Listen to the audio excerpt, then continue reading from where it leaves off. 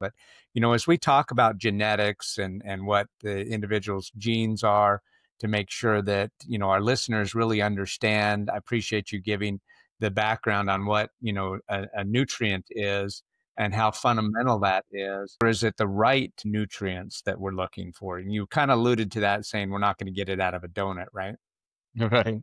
Yeah, so a lot of it is exactly, you know, you're going to get it out of food, but even then, everything we consume is in the raw form and our body has to activate it, turn it on. Everything that we eat, you know, we have enzymes in our mouth that start breaking down food, and then we have mechanical breakdown when we're chewing.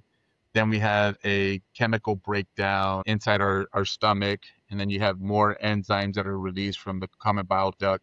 So there's there's there's a lot of processes in our body to start breaking down food as a whole to being able to extract the nutrients that we need.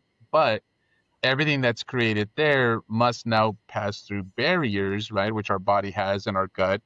And and those barriers are there to prevent infection and to prevent, you know, other issues. And we have good bacteria and bad bacteria in our gut.